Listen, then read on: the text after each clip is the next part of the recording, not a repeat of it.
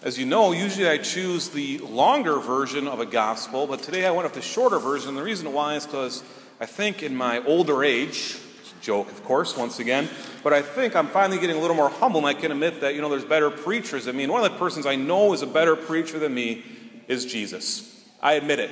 He's better than me. All right, I can finally admit Jesus knows better than me, and he's a much better preacher as well. And because of this, I said, you know what? Why don't we just take the end of the gospel today and make that the beginning of my homily? So at least you have one good part of your homily today. And of course, it's because of Jesus' words. And so we know the end of the parable. What does Jesus do in this one? This is the one that he truly explains what this parable means. So let's take a look, and not a look, let's listen to what it would have said and what it does say. Hear then the parable of the sower. The seed sown on the path is the one who hears the word of the kingdom without understanding it. And the evil one comes and steals away what was sown in his heart. The seed sown on rocky ground is one who hears the word and receives it at once with joy, but he has no root and lasts only for a time. When some tribulation or persecution comes because of the word, he immediately falls away. The seed sown among thorns is the one who hears the word but then worldly anxiety and the lure of riches choke the word, and it bears no fruit. But the seed sown on rich soil is the one who hears the word and understands it, who indeed bears fruit and yields a hundred, or sixty, or thirty fold. Of course, what part of the seed do we want to be? We want to be the one that bears fruit. We want to be that last one, right?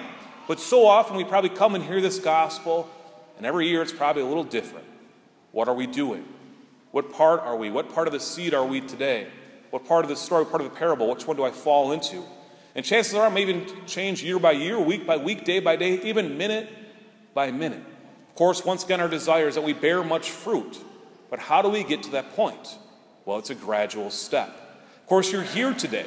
And because of this, it means that you are open. We are open at least to say, God, do with me as you will. So we're saying we want to be cultivated. We want truly God's word to take fruit in us, to take root in us. So we are saying, we are here, we're opening ourselves up to you. And that's the first step as we hear about today. We're saying, even this, we want to receive your word and understand it. Beautiful. Okay, but as we go along with this parable as well, we hear what? The next one says, if a seed falls on rocky ground, it will spring up quickly, but it truly will bear no fruit. It will wither in the sun. You know, my mother was, was grew up on a farm in New Market, Minnesota, and she tells stories sometimes, her and all of her uncle, my uncles and aunts, saying the least favorite job they had was to go out in the field in the spring and pick rocks. They have to go out there bucket after bucket after bucket. And the reason they went out to pick rocks was twofold. Number one was to make sure that when, when Grandpa Deutscher, Clarence, they called him, I probably called him Dad, when he went out there and plowed, they didn't want the plow to get messed up, but also they knew if they were to put seed on top of a rock, it wouldn't bear any fruit. And year after year after year, they'd have to go out there and pick these rocks. They still do it today. Now, I guess there's machines out there to help out with that now, but even then, I'm sure you still have to go out there by hand a little bit. You know, in our souls, sometimes we too can be filled with rocks. We can say to God, Hey, I'm open. But you see this part of my life right here? Big rock. I'm going to block it from you because I don't want any seed to go there. What do I mean by this?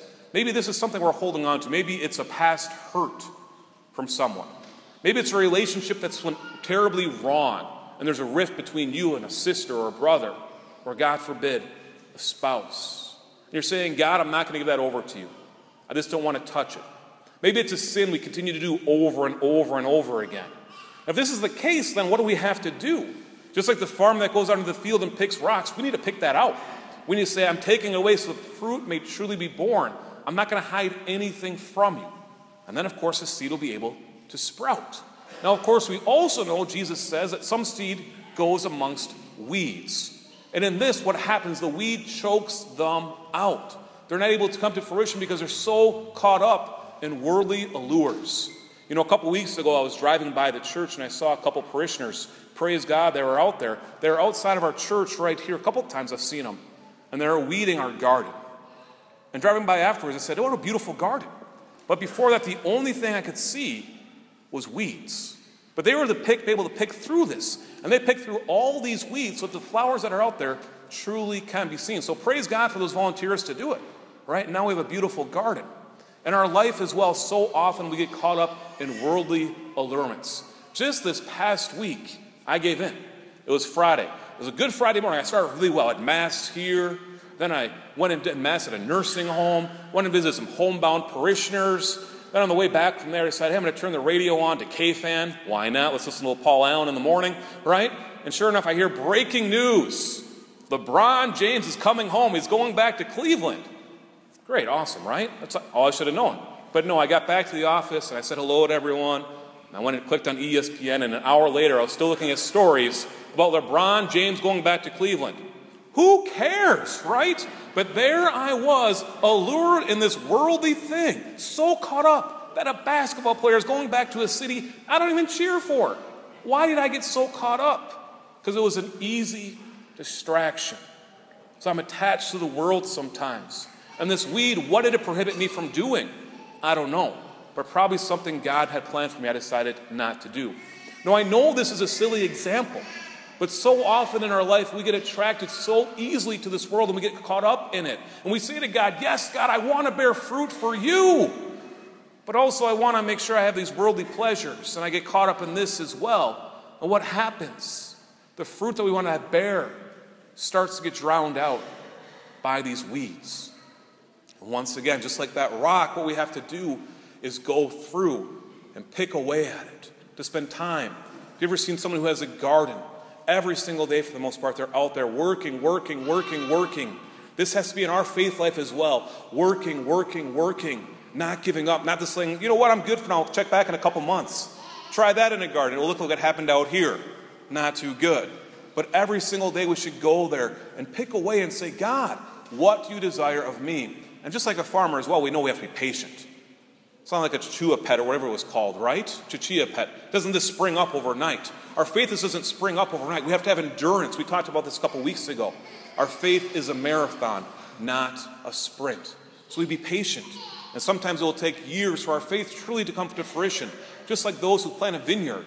The first three years, nothing nothing to show for it, but eventually it starts to bear fruit over and over and over again. So we too are patient in our faith life. When we do all these things, when we go to God and say, I'm open, when we pick away those rocks, when we weed away those things that are distracting us from God, and when we are patient, what's going to happen? Well, then we're going to bear fruit a hundredfold, sixtyfold, thirtyfold. Isn't that what you want to do? Isn't that what you desire? So often, I'll talk to some people that are, are close to death and it's a beautiful time to talk to them. But one of the questions that often comes up to me when they're asking, they say, Father Carlson, will I be known for anything? What did I leave behind? And I'll try to talk to them about their faith. And I'll let them know, you know, you're inspiring people. You inspire people throughout your life. Because at the end of the day, isn't that what we want to do? Don't we want to bear fruit in this world? Don't we want to leave a legacy?